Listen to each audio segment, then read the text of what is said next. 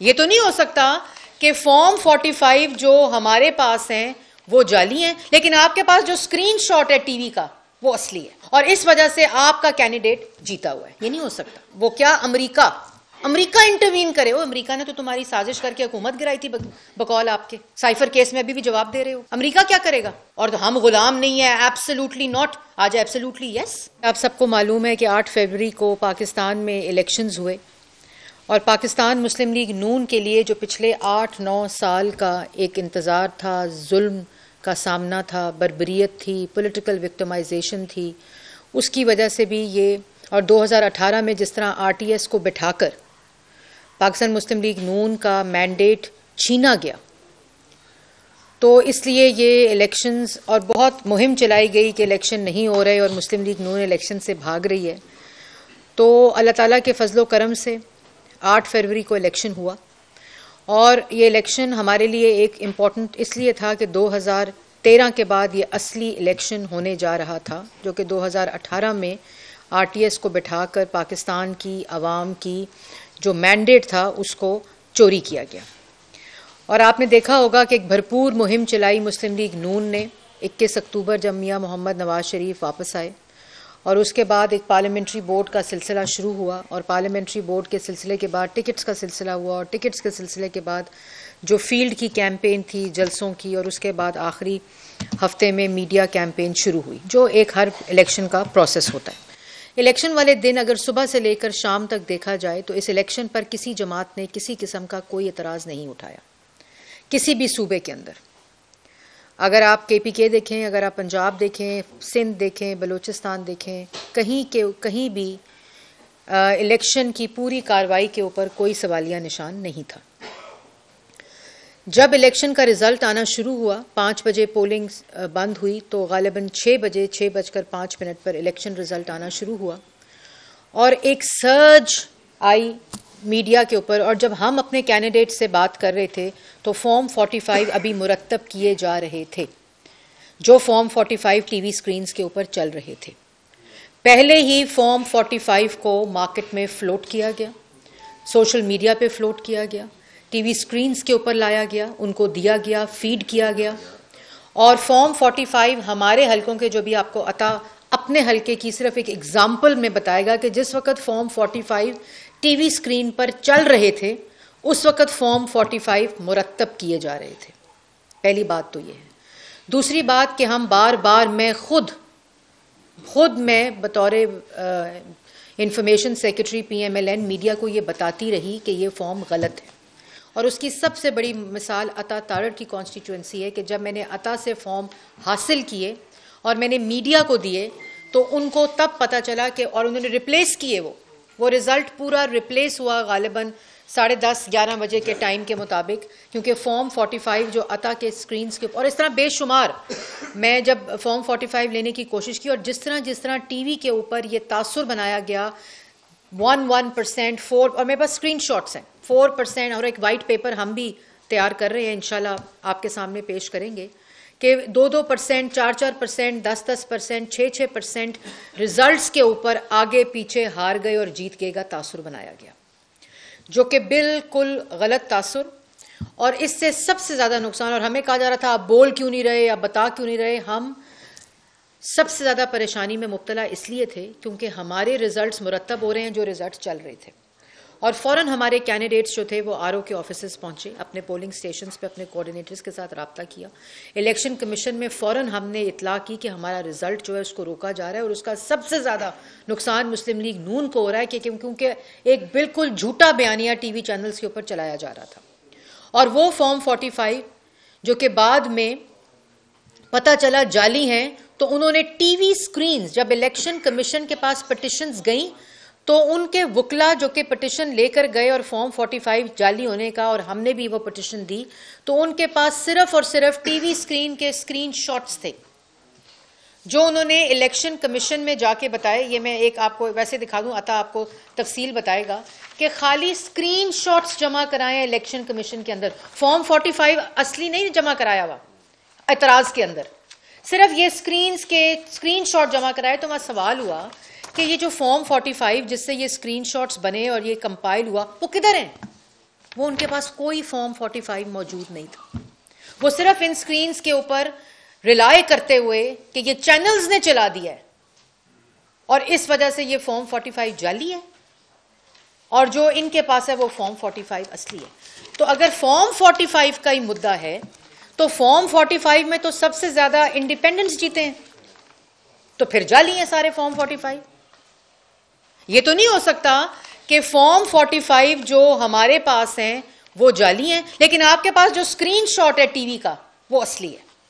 और इस वजह से आपका कैंडिडेट जीता हुआ है। ये नहीं हो सकता। फॉर्म 45 असली और जाली में फ़र्क सिर्फ़ ये होता है कि जो इलेक्शन कमीशन की वेबसाइट के ऊपर फॉर्म 45 अपडेट होता है अपलोड होता है, वो असल फॉर्म 45 है। और अगर आपको उसके साथ एतराज़ है तो उसका जवाब ये स्क्रीनशॉट नहीं है। उसका जवाब वो फॉर्म 45 होना चाहिए, जो आपके पास हो और आप उसको डिस्प्यूट करें कि ये फॉर्म 45 जाली और ये फॉर्म 45 असली है।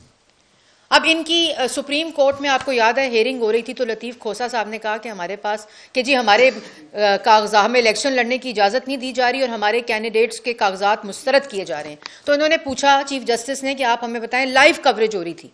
उन्होंने कहा, आप हमें बताएँ कि कौन से कैंडिडेट्स के जो कागजात हैं वो रिजेक्ट हो रहे हैं?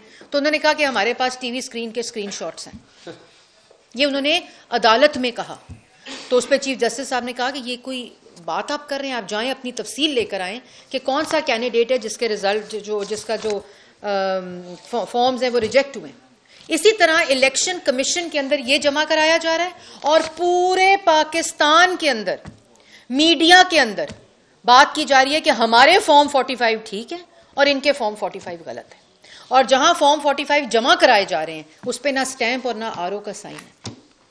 वेबसाइटों पर डाले जा रहे हैं, इलेक्शन कमीशन में जमा नहीं करा रहे, क्योंकि जिस दिन इलेक्शन कमीशन में जमा कराएँगे तो जाली साबित हो जाएँगे। तो ये नहीं हो सकता कि खैबर पख्तूनख्वा के जहाँ डस्टबिन के अंदर से शेर पे लगे बैलेट पेपर्स मिल रहे हैं कूड़े दानों से मिल रहे हैं, जो हम जमा करके इंशाल्लाह टीवी के सामने और इलेक्शन कमीशन में पेश करेंगे। ये नहीं हो सकता कि खैबर पख्तूनख्वा के सारे फॉर्म 45 असली हैं। पंजाब में जहाँ हारे हैं, वहाँ फॉर्म 45 जाली हैं। टीवी स्क्रीन की शॉर्ट स्क्रीन शॉट जो है वो ठीक है।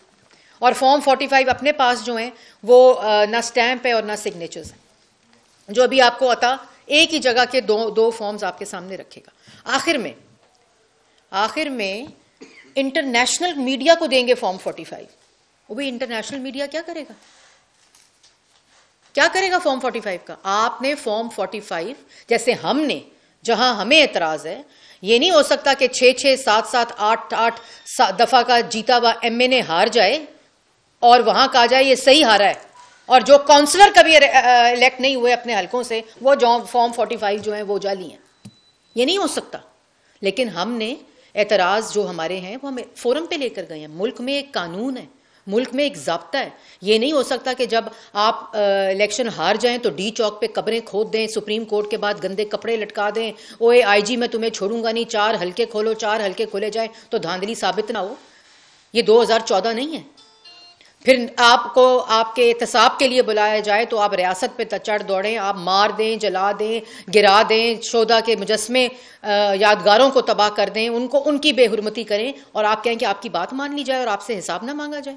इलेक्शन के अंदर ये ये फितना ग्रोह है, ये साजिशी ग्रोह है, ये बयान में क्या कहता है कि मैं खैबर पख्तूनख्वा को ढाका बनाऊँगा। ये ये ये बयान दिए जा रहे हैं। और इसी शख्स ने जिसकी जिसकी पार्टी ये बयान दे रही है, इसने कहा था कि मैं पाकिस्तान के टुकड़े टुकड़े करूँगा। और एक इलेक्शन के ऊपर, और इलेक्शन में अगर हमें भी इतराज है, आपको भी इतराज है, और जमातों को इतराज है, जिस जगह के ऊपर रेगुलरिटी नज़र आ रही है, आप इलेक्शन कमीशन में ले जाएँ। और इलेक्शन कमीशन के बाद अगर नहीं आपका दिल ठंडा होता, हम भी उसके आगे फोरम यूटिलाइज करेंगे। आप ट्राइब्यूनल्स में ले जाएँ, उसके बाद हाई कोर्ट्स में चले जाएँ, उसके बाद सुप्रीम कोर्ट में चले जाएँ। हम नहीं गए थे, हम भी गए थे। हमें तो रिकाउंटिंग की सुप्रीम कोर्ट में जाके भी इजाज़त नहीं मिली थी, साद रफीक साहब और शबाज शरीफ साहब के हल्के के अंदर, कराची के अंदर। यहाँ हाई कोर्ट स्टे दे रही हैं, रोक रही हैं रिजल्ट्स मतलब जो गुस्सा करे, जो डंडा चलाए, जो बदतमीजी करे, जो झूठ बोले, जो जालसाजी करे, उसका बयानिया है। ये जब मैंने मीडिया पे ये बोला कि ये फॉर्म 45 नहीं है, हमारे फॉर्म 45 दूसरे हैं जो आरओ के पास से हमें मिले हैं। और ये जब उन्होंने चलाए तो उनको भी पता चला कितने इंस्टेंसेस के ऊपर रिजल्ट्स कोड जो फॉर्म्स के ज़रिए हो रहा था, उनको बदला भी गया स्क्रीन्स के ऊपर। दूसरे रूरल एरिया से आ रहे होते हैं फॉर्म 45 दूसरी जगहों से आ रहे होते हैं कंपाइल होकर फॉर्म 47 हतमी रिज़ल्ट देता है। तमाशा बनाई रखा, तमाशा बनाई रखा, जिन सीटों से हार जाएँ इन्होंने इनका ख्याल है कि तकरीबन 155 सीट एक हज़ार पचपन सीटें और ये 2000 जीत जाए। ये मुल्क में अनारकी फैलाना चाहते हैं। फिर वो क्या? अमरीका। अमरीका इंटरवीन करे। वो अमरीका ने तो तुम्हारी साजिश करके हुकूमत गिराई थी बकौल आपके। साइफर केस में अभी भी जवाब दे रहे हो। अमरीका क्या करेगा? और तो हम गुलाम नहीं है एब्सोल्युटली नॉट आज एब्सोल्युटली यस मतलब पाकिस्तान की सॉवरेनिटी पाकिस्तान के अंदर इलेक्शंस में अमेरिका इंटरवीन करे, क्योंकि इमरान खान साहब जो हैं, वो चाहते हैं कि जो सीटें वो आ रहे हैं, वो वो भी जीत जाए। और आखिरी बात, कि हम हकूमत बना रहे हैं, हम हुकूमत नहीं बना बनाए हुकूमत। आपने party A party B party C party D किसी के साथ मिलकर हुकूमत बनानी है? शबाज शरीफ साहब कह चुके हैं, लेकिन ये फॉर्म 45 इंटरनेशनल मीडिया ये बड़के ना मार के, ये डरावे दे के, ये सिर्फ़ ग्रो मुल्क में दोबारा से जो साजिश इनकम्प्लीट थी, जो नाकाम हो गई थी नाइन्थ में की, ये दोबारा से वो करना चाहते हैं।